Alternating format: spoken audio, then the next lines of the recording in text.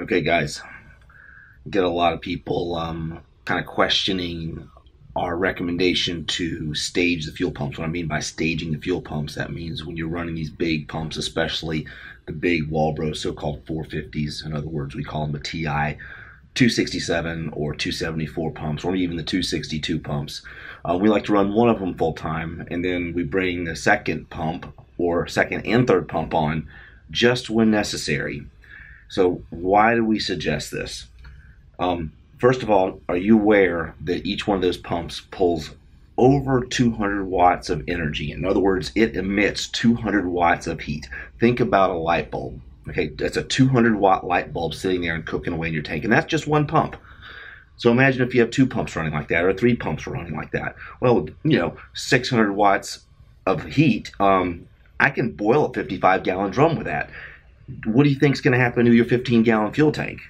So it's not a it's not a good idea to do that. Um, I get the whining from people saying um, it's making the fuel system more complex. Sure, it does. Um, but do you know the GTR from the factory stages the second pump? Yeah, it just switches it on with a relay when it's needed, only when it's needed. So it's okay to do it, but you got to do it the right way. Talk to us if you need to know how to do it the right way. There's several different ways of doing it. Typically, we use a pressure switch, RPM switch, auxiliary output from a nitrous controller or aftermarket ECU or boost controller. All right, let's move along and talk about why you actually do this. Um, when you run two or three pumps, or more fuel, I should say, than what you really need to run full time, what ends up happening is it puts a more electrical load on your vehicle's electrical system causing your alternator to wear out more quickly. Um, also puts other demands so it actually can actually slow down some of the other circuits on the car that are necessary for when you're making the full throttle pull. Um, it also makes your fuel filters process a whole lot more fuel than it doesn't need to. Um, and that's that's the easy stuff. Now, when fuel pumps, or let's just say um, any electric motor gets hot, the um, resistance on all those copper wires inside the motor goes up in other words, the motor becomes less efficient. So the hotter the fuel pump gets, in other words, the hotter the fuel that it's running in, what ends up happening is the slower the pump runs.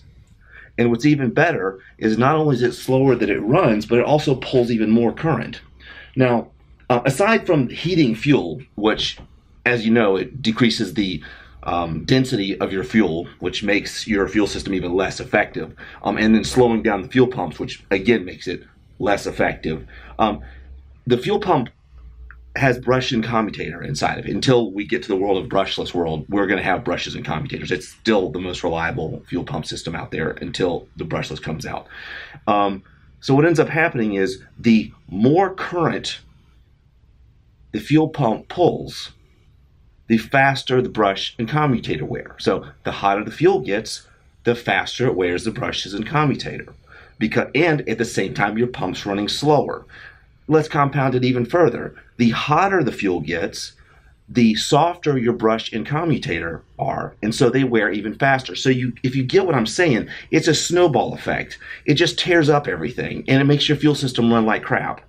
So stage your fuel pumps eliminate the heat, try to run your fuel as cool as possible.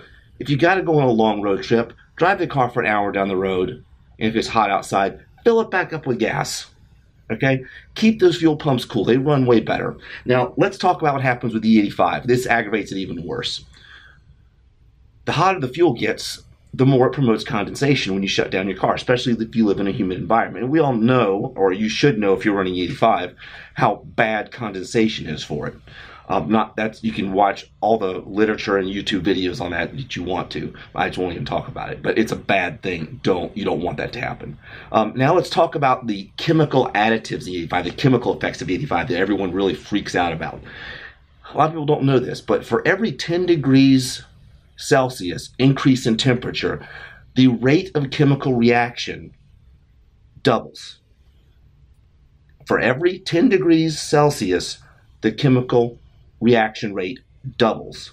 So the more heat you're putting in your fuel system, the, you are creating an exponentially greater effect of the chemicals on all the components inside your fuel tank and your injectors and everything else in your fuel system. So it's a really bad thing. So that's really all the stuff you need to know. And it should be very, very compelling for you to say, yeah, it adds a little bit of complexity to my fuel system, but that complexity, when it's installed right and it's using the right components, can make the fuel system far more reliable. I hope that helps you guys out. Um, you're always welcome to give us a call, 727 258 4826, or check us out online, www.foreinnovations.com.